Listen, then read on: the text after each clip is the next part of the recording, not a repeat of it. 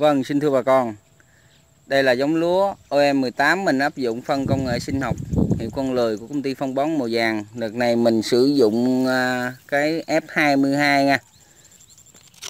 Ừ, các bạn thấy bông nó rất là dài và to. Tá đài ngắn và thẳng đứng nha. Bông giờ mình thấy bông